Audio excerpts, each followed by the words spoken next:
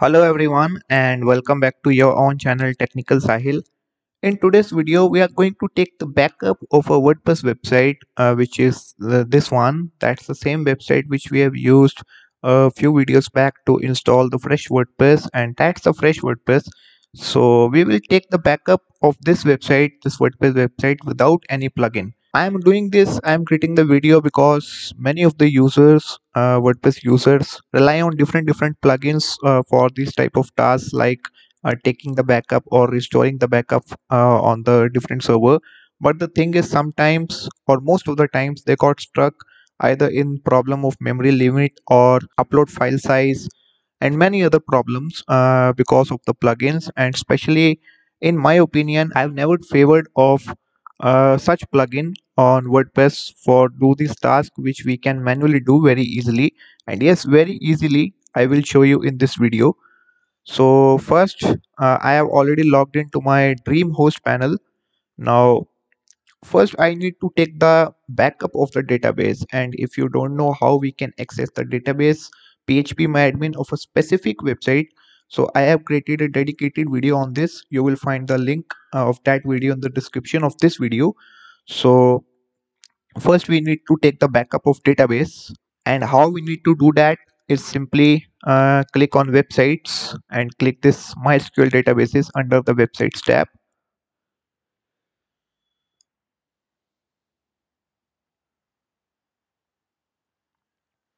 Now click phpMyAdmin and click manage websites.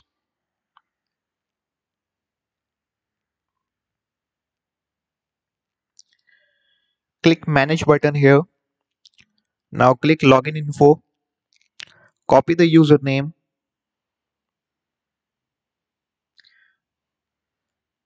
Uh, view the password and copy the password.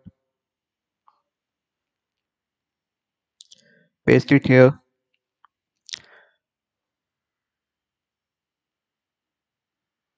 and click login. Now here we get the password uh, of Fiverr Seller Tools. So we simply need to click export and click export.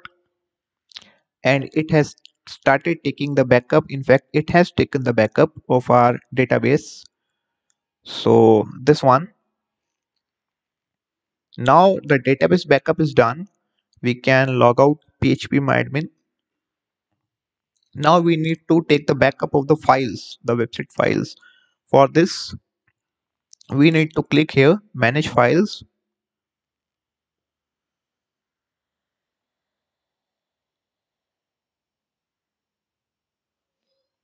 And open this directory by double click on it.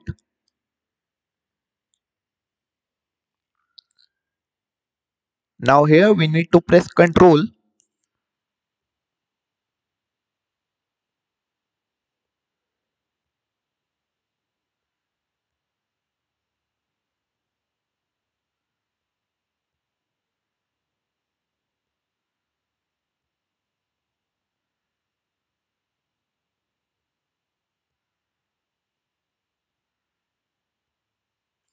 and select and click all the files and folders uh, to get selected. While pressing the control key you need to hold the finger on control key and click each and every file and folder uh, to get to make sure it gets selected. And click this download icon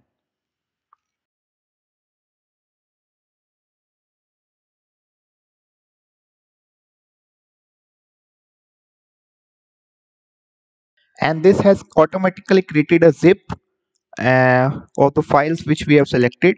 We simply need to click here start download. And it will start downloading it uh, in a few seconds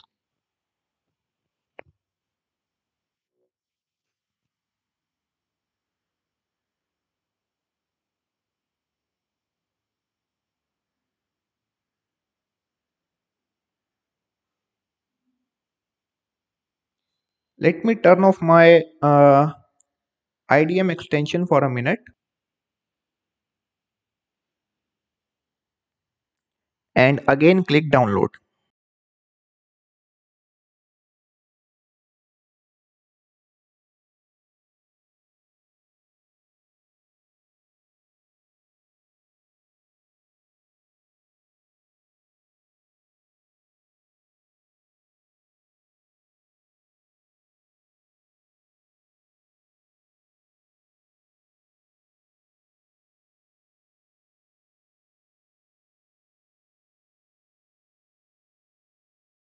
and it has downloaded the files of our website. So that was the problem related to the IDM internet download manager not from the website dreamhost.